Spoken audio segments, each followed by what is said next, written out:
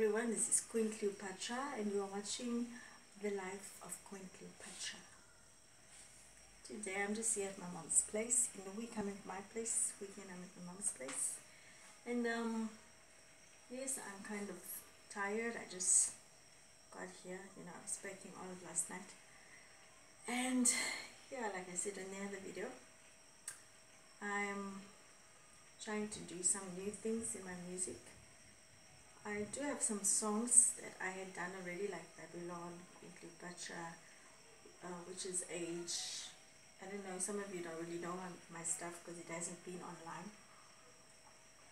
I did have one song, um, Cleopatra, that is my hit song. It's also played on radio a few times. But you know, maybe has a selective way of playing artist stuff. You know, they don't really play everybody's stuff.